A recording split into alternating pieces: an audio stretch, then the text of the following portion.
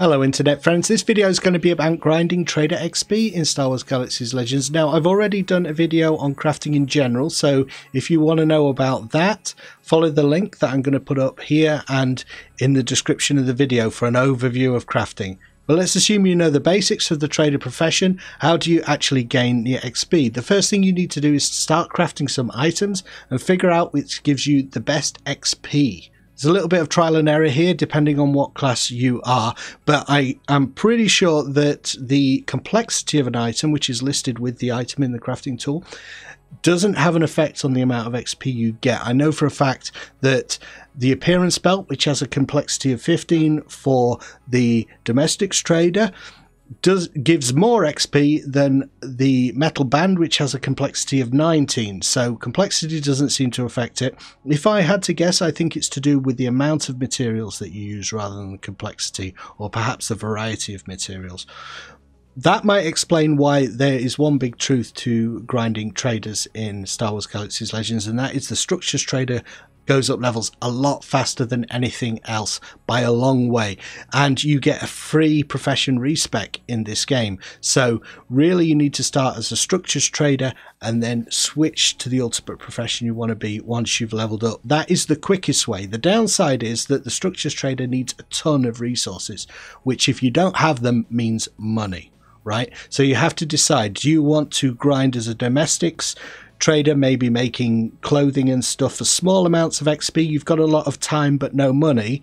Or do you want to do it fast, in which case you start as a structures trader and you you spend money buying those resources. It's up to you.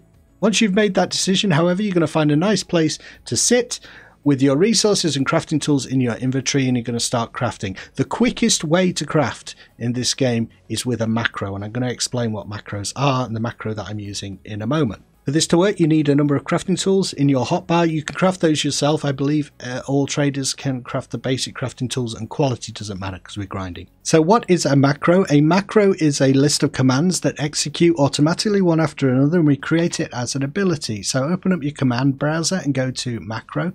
Then down here, this one I created earlier. Let's edit it. You can see what's inside. I've called this crafting. Pick any symbol you like. And here is the list of commands. Don't worry about remembering any of this because we're just going to copy and paste. There is a notepad in the game and I do have a video about that. The notepad is the way that you get text into the game so you really need to know how to do that. I'll link to my video about it in the description. I'll also paste this text in the description for you so you can actually copy it into your Star Wars Galaxies notepad and have it in the game. But for right now I'm just going to select all this and then use our key for copy if you don't have that bound, go into your keybinds and bind it. Uh, but once you've got that text copied, you can create any new macro. Let's call this crafting 2 just for demonstration purposes. Pick any symbol and then paste all that code back in. So we're just copying and pasting, nothing to worry about. The only thing you would have to change here is this last command, which is macro crafting here, it refers to my original macro. Because this macro I've just created is called crafting 2, I would have to change that to command to slash macro crafting 2 because this is the thing that tells the macro to start again and it needs the right name of the macro that you're using. But going back to my original macro, I'm going to talk through what these commands are actually doing because it's a bit hard to wrap your head around otherwise.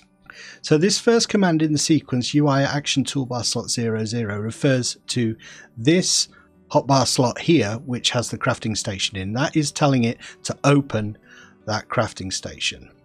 This will all happen automatically. The next command is a pause for half a second, which I put in so the macro doesn't start to trip over itself. Sometimes I find it does that. But then the next command is select draft schematic and the number of the schematic. We'll come back to this. It can be a bit hard to find the number of the schematic. In this case, this refers to an appearance belt that I'm going to be using. Then we have a pause for seven seconds. Now, uh, once we go to the draft schematic, this is where we add our resources. So we have seven seconds to do that before the macro will automatically move on. The next three commands are just to move through the crafting stages. So that would be assemble and then next and then create prototype item. And now the next two commands just tell it to create the prototype item in practice mode. This is what you would be doing if it weren't doing it automatically. So as you can see, it's creating that item and that's that's like doing it manually, isn't it? What happens at the end of that sequence is there's another pause for a second and then we go to UI Action Toolbox Tool Slot 01 and that refers to this next uh, crafting tool here. And exactly the same thing happens again. We go through that sequence for that crafting tool, then the next string tells it to go to the next crafting tool and the next one and the next one until we get right to the bottom of this string of commands. And then the final command is macro crafting or whatever you've named it. And this tells the macro to cycle round and start again. The reason we're doing this is so that we give our crafting tools time to create the item. So for instance, we can't use one crafting tool because there's a countdown, isn't it? It takes time to create each item. So we need a number of crafting tools. And by the time we get to the fifth, the first one is finished and we come back to the first.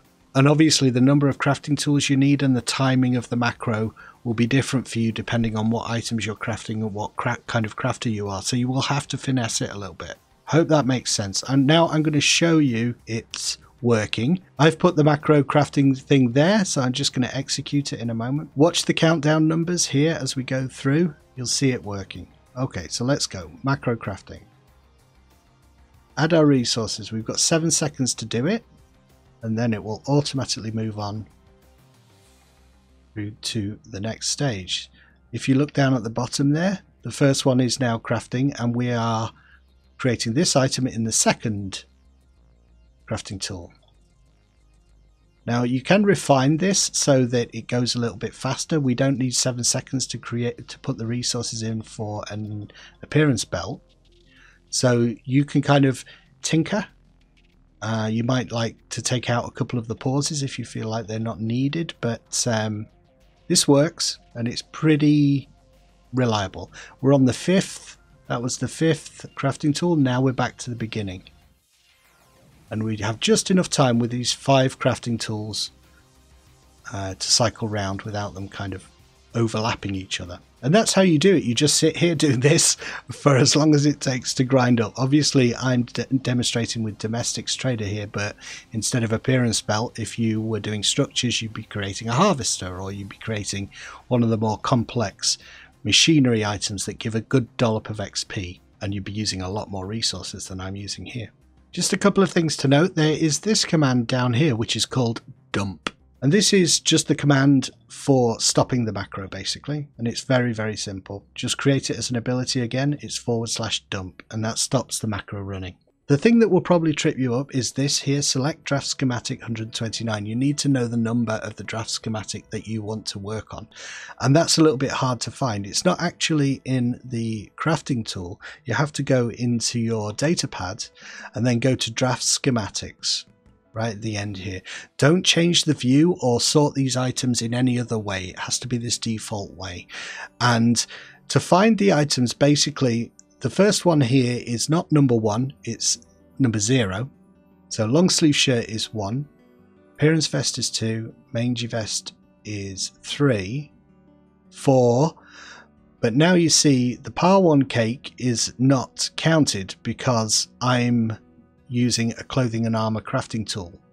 So we would skip that and go straight to metal bikini. So you would think metal bikini is number six. It's actually number five because we skip that par one cake.